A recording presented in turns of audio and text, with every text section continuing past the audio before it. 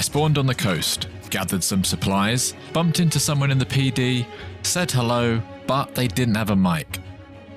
So I headed inland, found a revolver, met a man in the back of a shop, but I didn't fancy chatting to him.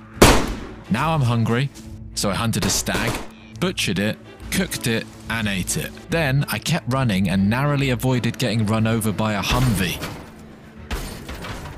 So I put the driver out of his misery and drove away from the scene of the crime. Then I parked up and went to the ATC, and I put a bear trap at the top of the stairs and waited. Eventually, someone ran upstairs and broke their leg, so I calmly peppered him with bullets and did not miss a shot.